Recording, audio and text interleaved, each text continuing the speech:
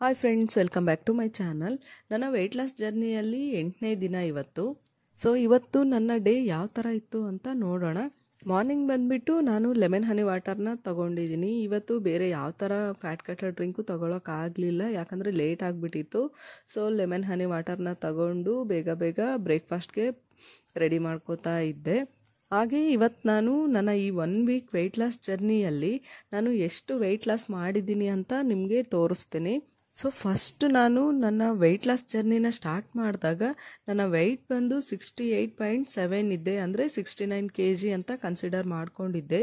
ಹಾಗೆ ನಾನು ಈ ಒನ್ ವೀಕ್ ವೆಯ್ಟ್ ಲಾಸ್ ಜರ್ನಿಯಲ್ಲಿ ನಾನು ಎಷ್ಟು ವೆಯ್ಟ್ ಲಾಸ್ ಆಗಿದ್ದೀನಿ ಅಂದರೆ sixty seven point five gram ಆಗಿದ್ದೀನಿ. ಅಂದರೆ ಒಂದು ವೀಕಲ್ಲಿ ನಾನು ಹತ್ತತ್ರ ಒಂದೂವರೆ ಕೆ ಜಿ ವೆಯ್ಟ್ ಲಾಸ್ ಮಾಡಿದ್ದೀನಿ. ನನಗಂತೂ ತುಂಬ ಖುಷಿ ಆಗ್ತಿದೆ. ನಾವು ವೆಯ್ಟ್ ಲಾಸ್ ಜರ್ನಿ ಸ್ಟಾರ್ಟ್ ಮಾಡಿದಾಗ ಸ್ಟಾರ್ಟಿಂಗಲ್ಲಿ ಒನ್ ಕೆ ಜಿ ಒಂದೂವರೆ ಕೆ ಜಿ ಈ ಥರ ಫುಲ್ ಫಾಸ್ಟಾಗಿ ಬರ್ನ್ ಆಗುತ್ತೆ. ಬಟ್ ನೆಕ್ಸ್ಟು ಎರಡನೇ ವಾರ ವೆಯ್ಟ್ ಲಾಸ್ ಕಡಿಮೆ ಮಾಡೋದಕ್ಕೆ ಸ್ವಲ್ಪ ಲೇಟ್ ಆಗುತ್ತೆ. ಅಂದರೆ ಅರ್ಧ ಕೆ ಜಿ ಮುಕ್ಕಾಲು ಕೆ ಜಿ ಈ ಥರ ವೆಯ್ಟ್ ಲಾಸ್ ಆಗುತ್ತೆ. ಸೊ ಇವತ್ತು ನನ್ನ ಪ್ರೆಸೆಂಟ್ ವೆಯ್ಟ್ ಬಂದು sixty seven point five grams ಇದ್ದೀನಿ ಇಷ್ಟು ಬಂದರೆ ಸಾಕು. ನಾವು ಇನ್ನೂ ಸ್ವಲ್ಪ ರಿಸಲ್ಟು ನಮ್ಮ ಒಂದು ಡಯೆಟ್ನಲ್ಲಿ ಇನ್ನಷ್ಟು ಸ್ಟ್ರಿಕ್ಟಾಗಿ ಫಾಲೋ ಮಾಡಿದರೆ ಇನ್ನೂ ಒಳ್ಳೆ ರಿಸಲ್ಟ್ ಸಿಗುತ್ತೆ ನಮಗೆ. ಸೊ ನಾಳೆಯಿಂದ ನಾನು ಇನ್ನೂ ಸ್ವಲ್ಪ ಸ್ಟ್ರಿಕ್ಟಾಗಿ ಡಯೆಟ್ನ ಫಾಲೋ ಮಾಡ್ತೀನಿ. ಸೊ ಒನ್ ವೀಕ್ ನನ್ನ ರಿಸಲ್ಟ್ನ ನೋಡಿದ್ದಾಯಿತು. ಈಗ ಇವತ್ತಿನ ನನ್ನ ಡೇ ರೊಟೀನ್ನ ಕಂಟಿನ್ಯೂ ಮಾಡೋಣ. ಇನ್ನು ಮಾರ್ನಿಂಗ್ ಬ್ರೇಕ್ಫಾಸ್ಟ್ಗೆ ನಾನು ಮಶ್ರೂಮ್ ಮಸಾಲಾನ ರೆಡಿ ಮಾಡ್ತಿದ್ದೀನಿ. ಮಶ್ರೂಮ್ಗೆ ಅರಿಶಿನ ಪುಡಿ ಹಾಗೆ ಉಪ್ಪು ಹಾಕಿ ನೀರಲ್ಲಿ ಒಂದು ಹತ್ತು ನಿಮಿಷ ನೆನೆಸಿಟ್ಟು ಚೆನ್ನಾಗಿ ತೊಳೆದು ಕಟ್ ಮಾಡಿ ರೆಡಿ ಮಾಡಿ ಇಟ್ಕೊಂಡಿದ್ದೀನಿ. ನಂತರ ಒಂದು ಪ್ಯಾನ್ಗೆ ಸ್ವಲ್ಪ ಎಣ್ಣೆ ಹಾಕಿ ಅದರಲ್ಲಿ ಒಂದು ಟೀ ಸ್ಪೂನ್ ಜೀರಿಗೆ, ಒಂದು ಟೀ ಸ್ಪೂನ್ ಸೋಂಪುಕಾಳು, ಹಾಗೆ ಪಲಾವ್ ಎಲೆ, ಸ್ವಲ್ಪ ಚಕ್ಕೆ, ಎರಡು ಏಲಕ್ಕಿ, ಒಂದು ಮೂರರಿಂದ ನಾಲ್ಕು ಲವಂಗ ಹಾಕಿ ಲೋ ಫ್ಲೇಮಲ್ಲೇ ಫ್ರೈ ಮಾಡ್ಕೋತೀನಿ. ನಂತರ ಇದಕ್ಕೆ ಒಂದು ಇಂಚಿನಷ್ಟು ಹಸಿ ಶುಂಠಿ, ಹಾಗೆ ಒಂದು ಗಡ್ಡೆ ಬೆಳ್ಳುಳ್ಳಿನ ಸಿಪ್ಪೆ ತೆಗೆದು ಹಾಕ್ಕೊಂಡು ಹಸಿ ವಾಸನೆ ಹೋಗೋ ತನಕ ಫ್ರೈ ಮಾಡ್ಕೋತೀನಿ. ಶುಂಠಿ, ಬೆಳ್ಳುಳ್ಳಿ ಎಲ್ಲ ಚೆನ್ನಾಗಿ ಫ್ರೈ ಆದಮೇಲೆ ನಂತರ ನಾನು ಒಂದೆರಡು ದೊಡ್ಡ ಈರುಳ್ಳಿನ ತಗೊಂಡು ಚಿಕ್ಕದಾಗಿ ಕಟ್ ಮಾಡಿಕೊಂಡು ಹಾಕಿ ಚೆನ್ನಾಗಿ ಫ್ರೈ ಮಾಡ್ಕೋತೀನಿ. ಈಗ ಈರುಳ್ಳಿ ಎಲ್ಲ ಕಲರ್ ಚೇಂಜ್ ಆದಮೇಲೆ ಸ್ವಲ್ಪ ಹಸಿ ಕೊಬ್ಬರಿ ಹಾಗೆ ಒಂದೆರಡು ಟೊಮೊಟೊನ ಚಿಕ್ಕದಾಗಿ ಕಟ್ ಮಾಡಿ ಹಾಕ್ಕೊಂಡು ಒಂದೆರಡು ನಿಮಿಷ ಫ್ರೈ ಮಾಡ್ಕೋತೀನಿ. ಅಂದರೆ ಟೊಮೊಟೊ ಸಿಪ್ಪೆ ಬಿಡೋ ತನಕ. ನೆಕ್ಸ್ಟ್ ಈಗ ಸ್ವಲ್ಪ ಗೋಡಂಬಿ ಹಾಕ್ಕೊಂಡು ಮಿಕ್ಸ್ ಮಾಡಿ, ಈ ಟೈಮಲ್ಲೇ ಒಂದು ಟೀ ಸ್ಪೂನ್ ಉಪ್ಪು, ಹಾಗೆ ಸ್ವಲ್ಪ ಕೊತ್ತಂಬರಿ ಸೊಪ್ಪು ಹಾಕಿ ಚೆನ್ನಾಗಿ ಮಿಕ್ಸ್ ಮಾಡ್ಕೋತಿದ್ದೀನಿ ಈಗ ಈ ಮಸಾಲೆ ಎಲ್ಲ ರೆಡಿ ಆಗಿದೆ. ಸ್ಟವ್ ಆಫ್ ಮಾಡಿ ಸ್ವಲ್ಪ ಹೊತ್ತು ತಣ್ಣಗೋಗಿ ಬಿಡ್ತೀನಿ ನಂತರ ಒಂದು ಮಿಕ್ಸಿ ಜಾರ್ ತಗೊಂಡು ಅದರಲ್ಲಿ ಫ್ರೈ ಮಾಡ್ಕೊಂಡಿರೋಂಥ ಮಸಾಲಾನೇ ಹಾಕಿ ಇದಕ್ಕೆ ಅರ್ಧ ಟೀ ಸ್ಪೂನ್ ಅರಿಶಿನ ಪುಡಿ, ಒಂದು ಟೀ ಸ್ಪೂನ್ ಅಚ್ಕಾರದ ಪುಡಿ, ಹಾಗೆ ಅರ್ಧ ಟೀ ಸ್ಪೂನ್ ಧನಿಯಾ ಪುಡಿ, ಹಾಗೆ ಸ್ವಲ್ಪ ಗರಂ ಮಸಾಲ ಹಾಕಿ ಸ್ವಲ್ಪ ನೀರು ಹಾಕಿ ಫೈನ್ ಪೇಸ್ಟ್ ಆಗಿ ರುಬ್ಕೋತೀನಿ. ಈ ಕನ್ಸಿಸ್ಟೆನ್ಸಿಯಲ್ಲಿ ರುಬ್ಕೊಂಡ್ರೆ ಸಾಕಾಗುತ್ತೆ. ನೆಕ್ಸ್ಟ್ ಈಗ ಒಂದು ಪ್ಯಾನ್ನ ಬಿಸಿಗಿಟ್ಟು ಅದರಲ್ಲಿ ಒಂದು ಟೀ ಸ್ಪೂನ್ ಎಣ್ಣೆ, ಹಾಗೆ ಒಂದು ಸ್ವಲ್ಪ ಬಟರ್ ಹಾಕ್ಕೊಂಡು ಬೆಣ್ಣೆ ಎಲ್ಲ ಚೆನ್ನಾಗಿ ಕರಗದ ಮೇಲೆ ಇದರಲ್ಲಿ ಜೀರಿಗೆ ಮತ್ತು ಕರ್ಬೇವಿನ ಸೊಪ್ಪು ಹಾಕಿ, ಜೀರಿಗೆ ಸ್ವಲ್ಪ ಫ್ರೈ ಆದಮೇಲೆ ಮುಂಚೆನೇ ರುಬ್ಕೊಂಡಿರೋಂಥ ಮಸಾಲೆ ಹಾಕಿ ಚೆನ್ನಾಗಿ ಮಿಕ್ಸ್ ಮಾಡ್ಕೋತಾ ಮೀಡಿಯಮ್ ಫ್ಲೇಮಲ್ಲೇ ಕುದಿಸ್ಕೋತೀನಿ. ನಾವು ಮುಂಚೆನೇ ಫ್ರೈ ಮಾಡ್ಕೊಂಡು ರುಬ್ಕೊಂಡಿರೋಂಥ ಮಸಾಲ ಹಾಕಿದ್ವಲ್ಲ ಸೊ ಈಗ ಹೆಚ್ಚಿಗೆ ಏನು ಕುದಿಸೋ ಅವಶ್ಯಕತೆ ಇರೋದಿಲ್ಲ. ಆಗಲೇ ಈರುಳ್ಳಿ, ಟೊಮೊಟೊ ಎಲ್ಲ ಫ್ರೈ ಆಗಿರುತ್ತಲ್ಲ ಚೆನ್ನಾಗಿ. ಹಂಗಾಗಿ ಈಗ ಒಂದು ಐದು ನಿಮಿಷ ಕುದಿಸಿದ್ರೆ ಸಾಕಾಗುತ್ತೆ. ಈ ಟೈಮಲ್ಲಿ ಉಪ್ಪು ಕೂಡ ಅಷ್ಟೇ. ಮುಂಚೆನೇ ಹಾಕ್ಕೊಂಡಿದ್ವಲ್ಲ, ಹಂಗಾಗಿ ಇವಾಗ ಕಡಿಮೆ ಇತ್ತು ಅಂದರೆ ಉಪ್ಪು ಹಾಕ್ಕೊಳ್ಳಿ ಇಲ್ಲಾಂದರೆ ಅದೇ ಸಾಕಾಗುತ್ತೆ. ನೋಡಿ, ಈಗ ಮಸಾಲ ಎಲ್ಲ ಚೆನ್ನಾಗಿ ಕುದ್ದು ಸುತ್ತ ಎಣ್ಣೆ ಬಿಟ್ಕೊಂಡಿದ್ದೆ ಈಗ ಮುಂಚೆನೇ ಕ್ಲೀನ್ ಮಾಡಿಕೊಂಡು ಚಿಕ್ಕದಾಗಿ ಕಟ್ ಮಾಡಿ ಮಶ್ರೂಮ್ನ ರೆಡಿ ಮಾಡಿ ಇಟ್ಕೊಂಡಿದ್ನಲ್ಲ, ಆ ಮಶ್ರೂಮ್ನ ಹಾಕ್ಕೊಂಡು ಚೆನ್ನಾಗಿ ಮಿಕ್ಸ್ ಮಾಡಿ ಲಿಡ್ ಕ್ಲೋಸ್ ಮಾಡಿ ಒಂದೆರಡು ನಿಮಿಷ ಕುದಿಸ್ಕೊಂಡ್ರೆ ಸಾಕು. ಮಶ್ರೂಮ್ ಸಾಫ್ಟಾಗಿರುತ್ತೆ ಈಗ ಮಶ್ರೂಮ್ ಮಸಾಲ ರೆಡಿ ಆಗಿದೆ. ತುಂಬ ಸಿಂಪಲಾಗಿ ಬೇಗನೆ ರೆಡಿ ಮಾಡ್ಕೋಬೋದು. ಟೇಸ್ಟ್ ಅಂತೂ ತುಂಬಾ ಚೆನ್ನಾಗಿರುತ್ತೆ. ಖಂಡಿತವಾಗ್ಲೂ ಒಂದು ಸರಿ ಟ್ರೈ ಮಾಡಿ ನೋಡಿ. ಆಮೇಲೆ ನೀವೇ ನನಗೆ ಕಮೆಂಟ್ ಮಾಡ್ತೀರಾ. ಅಷ್ಟು ಚೆನ್ನಾಗಿರುತ್ತೆ ಮಶ್ರೂಮ್ ಮಸಾಲ. ಮಶ್ರೂಮ್ನ ಉಪ್ಪು ನೀರಲ್ಲಿ ನೆನೆಸಿಟ್ಟು ಕ್ಲೀನ್ ಮಾಡಿಕೊಂಡು ಮೇಲೆಲ್ಲ ಸಿಪ್ಪೆ ತೆಗೆದು ಅದನ್ನು ಕಟ್ ಮಾಡಿ ಇಟ್ಕೊಳ್ಳೋದೊಂದೇ ಲೇಟ್ ಆಗುತ್ತೆ. ಇನ್ನು ಬೇರೆ ಪ್ರೋಸೆಸ್ ಎಲ್ಲ ಬೇಗನೆ ಆಗುತ್ತೆ. ಹಂಗೆ ಈಸಿಯಾಗಿ ರೆಡಿ ಮಾಡ್ಕೋಬೋದು. ಸೊ ಇವತ್ತು ಮಾರ್ನಿಂಗ್ ಬ್ರೇಕ್ಫಾಸ್ಟ್ಗೆ ನಾನು ಎರಡು ಚಪಾತಿ, ಹಾಗೆ ಮಶ್ರೂಮ್ ಕರ್ರಿ, ಮತ್ತು ನೆನೆಸಿರೋಂಥ ಬಾದಾಮಿ, ಹಾಗೆ ವಾಲ್ನಟ್ಟು, ಸ್ವಲ್ಪ ನೆನೆಸಿರೋಂಥ ಶೇಂಗಾ ಬೀಜನ ತೊಗೊಂಡಿದ್ದೀನಿ ಸೊ ಇದು ನನ್ನ ಮಾರ್ನಿಂಗ್ ಬ್ರೇಕ್ಫಾಸ್ಟ್ ಆಗಿರುತ್ತೆ. ನೆಕ್ಸ್ಟು ಮಧ್ಯಾಹ್ನದ ಊಟಕ್ಕೆ ಬೇರೆ ರೆಡಿ ಮಾಡ್ಕೊಳ್ಲಿಲ್ಲ ಚಪಾತಿ ಹಾಗೆ ಮಶ್ರೂಮ್ ಕರಿನೇ ಇತ್ತು. ಅದನ್ನೇ ಮಧ್ಯಾಹ್ನದ ಊಟಕ್ಕೆ ತಗೋತಿದ್ದೀನಿ.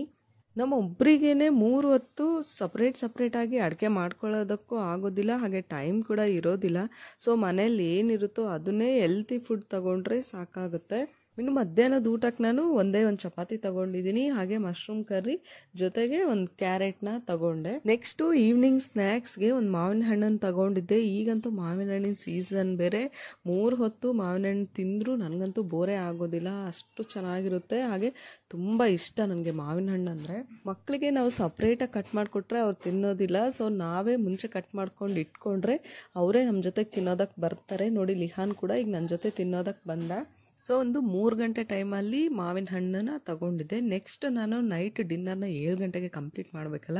ಸೊ ಬೆಳಿಗ್ಗೆಯಿಂದ ತುಂಬಾ ತಿಂದ್ಬಿಟ್ಟಿದ್ದೀನಿ ಇವತ್ತು. ಬೆಳಿಗ್ಗೆ ಮಧ್ಯಾಹ್ನ ಚಪಾತಿ ತಿಂದಿದ್ದೆ. ಹೀಗಾಗಿ ಮಾವಿನ ಹಣ್ಣು ಸ್ನ್ಯಾಕ್ಸಿಗೆ ತಗೊಂಡಿದ್ದೆ. ಇದನ್ನೆಲ್ಲನೂ ಬ್ಯಾಲೆನ್ಸ್ ಮಾಡೋದಕ್ಕೆ ನಾನು ವಾಟರ್ ಮೆಲನ್ ಜ್ಯೂಸ್ನ ತಗೊಂಡಿದ್ದೀನಿ ನನ್ನ ನೈಟ್ ಡಿನ್ನರ್ ಇದು. ಸೊ ಕಲ್ಲಂಗಡಿ ಹಣ್ಣನ್ನು ರೆಗ್ಯುಲರ್ ಆಗಿ ತಗೊಳ್ಳೋದ್ರಿಂದ ತುಂಬಾ ಹೆಲ್ತ್ ಬೆನಿಫಿಟ್ಸ್ ಇದ್ದರೆ ಹಾಗೆ ಇದರಲ್ಲಿ ನೀರಿನ ಅಂಶ ಜಾಸ್ತಿ ಇರೋದ್ರಿಂದ ಹೆಲ್ತ್ಗೆ ತುಂಬ ಒಳ್ಳೆಯದು ಈಗೆಲ್ಲ ನೀವು ನೋಡ್ಬೋದು ಈ ವರ್ಷ ಅಂತೂ ತುಂಬಾ ಬಿಸಿಲಿದೆ. ಮಧ್ಯಾಹ್ನದಿಂದ ಸಂಜೆ ಆಗ್ತಾ ಆಗ್ತಾ ತುಂಬ ಬಿಸಿಲು ಅನಿಸುತ್ತೆ. ಹೊರಗೆ ಹೋಗೋದಕ್ಕೂ ಆಗೋದಿಲ್ಲ. ಹಾಗಾಗಿ ಈ ಟೈಮಲ್ಲಿ ಇಂಥ ಹಣ್ಣುಗಳನ್ನ ತಿನ್ನೋದು ತುಂಬ ಒಳ್ಳೆಯದು ಕಲ್ಲಂಗಡಿ ಹಣ್ಣು ಈಗ ಸೀಸನಲ್ ಫ್ರೂಟು ಹಾಗೆ ವೆಯ್ಟ್ ಲಾಸ್ ಅಥವಾ ಫ್ಯಾಟ್ ಲಾಸ್ ಮಾಡೋದಕ್ಕೂ ಇದು ಬೆಸ್ಟ್ ಹಣ್ಣು ಅಂತಲೇ ಹೇಳ್ಬೋದು. ಯಾಕಂದರೆ ಇದರಲ್ಲಿ ವಾಟರ್ ಕಂಟೆಂಟ್ ಜಾಸ್ತಿ ಇರೋದ್ರಿಂದ ನಾವು ತಿನ್ನುವಾಗ ನಮ್ಮ ಬಾಡಿಗೆ ವಾಟರ್ ಕಂಟೆಂಟ್ ಜಾಸ್ತಿ ಹೋಗುತ್ತೆ, ಎಕ್ಸ್ಟ್ರಾ ಫ್ಯಾಟ್ನು ಬರ್ನ್ ಆಗುತ್ತೆ. ಕೆಲವೊಂದು ಸರಿ ನಮಗೆ ಬಾಡಿಯಲ್ಲಿ ಓವರ್ ಹೀಟ್ ಆಗುತ್ತೆ. ಈ ಓವರ್ ಹೀಟ್ ಆಗೋದ್ರಿಂದ ನಮಗೆ ಏನೆಲ್ಲ ಪ್ರಾಬ್ಲಮ್ ಆಗುತ್ತೆ ಅಂದರೆ ನಮಗೆ ಓವರ್ ಹೀಟ್ ಆಗೋದ್ರಿಂದ ನಮ್ಮ ತಲೆಯಲ್ಲಿ ಡ್ರೈ ಹೇರ್ ಆಗುತ್ತೆ. ಡ್ರೈ ಹೇರ್ ಆದರೆ ತಲೆಯಲ್ಲಿ ಡ್ಯಾಂಡ್ರಫ್ ಜಾಸ್ತಿ ಆಗುತ್ತೆ. ಆ ಡ್ಯಾಂಡ್ರಫು ಮುಖದ ಮೇಲೆ ಬಿದ್ದು ಮುಖದಲ್ಲಿ ಪಿಂಪಲ್ಸ್ ಆಗುತ್ತೆ. ತುಂಬ ಜನಕ್ಕೆ ಮುಖದ ಮೇಲೆ ಪಿಂಪಲ್ಸ್ ಯಾಕಾಗುತ್ತೆ ಅನ್ನೇ ನಿಜವಾಗ್ಲೂ ರೀಸನ್ನೇ ಗೊತ್ತಿರೋದಿಲ್ಲ. ಹಾಗೆ ನಾವು ಸರಿಯಾಗಿ ತಲೆಗೆ ಎಣ್ಣೆ ಕೂಡ ಹಚ್ಕೊಳ್ಳೋದಿಲ್ಲ. ಅತಿಯಾದ ಬಿಸಿಲು, ಆ ಬಿಸಿ ತಾಪದಿಂದ ನಮ್ಮ ತಲೆ ಹೀಟ್ ಆಗೋದ್ರಿಂದ ತಲೆಯಲ್ಲಿ ಏರ್ ಫಾಲ್ ಆಗುತ್ತೆ. ನಾವು ಸರಿಯಾಗಿ ಎಣ್ಣೆನೂ ಹಚ್ಕೊಳ್ಳೋದಿಲ್ಲ. ಅದರಿಂದ ಡ್ರೈ ಹೇರ್ ಆಗುತ್ತೆ. ಓವರ್ ಹೀಟಿಂದ ಡ್ಯಾಂಡ್ರಫ್ ಆಗಿ ತಲೆಯಲ್ಲಿ ಕೆರೆತ ಶುರು ಆಗುತ್ತೆ. ಅಂದರೆ ಇಚ್ಚಿಂಗ್ ಸ್ಟಾರ್ಟ್ ಆಗುತ್ತೆ. ಸೊ ನಮ್ಮ ತಲೆಯಲ್ಲಿ ಇಚ್ಚಿಂಗ್ ಆದ ತಕ್ಷಣವೇ ನಾವು ಅದನ್ನು ಕೆರ್ಕೊಳ್ಳೋಕ್ಕೆ ಶುರು ಮಾಡ್ತೀವಿ. ಆ ಡ್ಯಾಂಡ್ರಫ್ ಎಲ್ಲ ಮುಖದ ಮೇಲೆ ಬೀಳುತ್ತೆ. ಹಾಗೆ ಮುಖದಲ್ಲಿ ಪಿಂಪಲ್ ಆಗುತ್ತೆ. ನಾವು ಆ ಪಿಂಪಲ್ನ ಸುಮ್ಮನೆ ಬಿಡ್ತೀವ. ಪದೇ ಪದೇ ಕೈಯಿಂದ ಮುಟ್ಕೋತಾನೆ ಇರ್ತೀವಿ. ಇಲ್ಲ ಪಿಂಪಲ್ನ ಹೊಡ್ಕೊಳ್ಳೋದಕ್ಕೂ ಹೋಗ್ತೀವಿ. ಅದು ಹಾಗೆ ಮುಖದಲ್ಲಿ ಕಲೆ ಆಗಿಬಿಡುತ್ತೆ. ಸೊ ಒಂದು ಪ್ರಾಬ್ಲಮಿಂದ ಇಷ್ಟೆಲ್ಲ ಪ್ರಾಬ್ಲಮ್ ಕ್ರಿಯೇಟ್ ಆಗುತ್ತೆ ನೋಡಿ. ಅಂಥ ಓವರ್ ಹೀಟ್ನ ನಮ್ಮ ಬಾಡಿಯಲ್ಲಿ ಇಟ್ಕೊಳ್ಳೋದಕ್ಕೆ ಹೋಗಬಾರ್ದು. ಯಾವಾಗಲೂ ಈ ರೀತಿ ತಂಪಾದ ಜ್ಯೂಸ್ಗಳನ್ನು ಕುಡಿತಾ ಇದ್ದರೆ ಒಳ್ಳೆಯದು ವೆಯ್ಟ್ ಲಾಸ್ಗೆ ಮಾತ್ರ ಅಲ್ಲದೆ ಈ ರೀತಿ ಫ್ರೂಟ್ ಜ್ಯೂಸ್ಗಳನ್ನು ತಗೊಳ್ಳೋದ್ರಿಂದ ನಮ್ಮ ಬಾಡಿನಲ್ಲಿ ಓವರ್ ಹೀಟ್ ಆಗದೆ ರೀತಿ ಬ್ಯಾಲೆನ್ಸ್ ಮಾಡ್ಕೋಬೋದು. ಈ ಒಂದು ಬ್ಯಾಲೆನ್ಸಿಂಗಿಂದ ನಮಗೆ ವೆಯ್ಟ್ ಲಾಸ್ಗೂ ಹೆಲ್ಪ್ ಆಗುತ್ತೆ ಏರ್ ಫಾಲ್ ಕಡಿಮೆ ಆಗುತ್ತೆ ಪಿಂಪಲ್ಸ್ ಕೂಡ ಕಡಿಮೆ ಆಗುತ್ತೆ ಆ್ಯಂಡ್ ಸ್ಕಿನ್ ಕೂಡ ತುಂಬಾ ಗ್ಲೋ ಆಗುತ್ತೆ. ನಾವು ಈ ರೀತಿ ರೆಗ್ಯುಲರ್ ಆಗಿ ವಾಟರ್ ಮೆಲನ್ ಜ್ಯೂಸ್ ಕುಡಿಯೋದ್ರಿಂದ ನಮ್ಮ ಫೇಸು ಸ್ಕಿನ್ನು ತುಂಬ ಅಂದರೆ ತುಂಬ ಗ್ಲೋ ಬರುತ್ತೆ. ನನಗೆ ಗೊತ್ತಿರೋಷ್ಟು ಬೆನಿಫಿಟ್ಸು ನನಗೆ ಗೊತ್ತಿರೋಷ್ಟು ಡೀಟೇಲ್ಸ್ನ ನಿಮ್ಮ ಜೊತೆ ಶೇರ್ ಮಾಡಿದ್ದೀನಿ ಈ ವಿಡಿಯೋ ನಿಮಗೆ ಸ್ವಲ್ಪನಾದರೂ ಇಷ್ಟ ಆಯಿತು ಅಂತ ಅನ್ಕೋತಿದ್ದೀನಿ ಈ ವಿಡಿಯೋ ನಿಮಗೆ ಇಷ್ಟ ಆಗಿದ್ದರೆ ಲೈಕ್ ಮಾಡಿ ಶೇರ್ ಮಾಡಿ ಕಮೆಂಟ್ ಮಾಡಿ. ಹಾಗೆ ಯಾರೆಲ್ಲ ನನ್ನ ಚಾನಲ್ನ ಸಬ್ಸ್ಕ್ರೈಬ್ ಮಾಡಿದೆ ವಿಡಿಯೋಸ್ ನೋಡ್ತಿದ್ರೋ ಪ್ಲೀಸ್ ಸಬ್ಸ್ಕ್ರೈಬ್ ಮಾಡಿಕೊಂಡು ಹೀಗೆ ಸಪೋರ್ಟ್ ಮಾಡ್ತೀರಿ. ಮತ್ತೆ ಇನ್ನೊಂದು ಹೊಸ ವಿಡಿಯೋದೊಂದಿಗೆ ಸಿಗೋಣ. ಅಲ್ಲಿ ತನಕ ಟೇಕ್ ಕೇರ್ ಬಾಯ್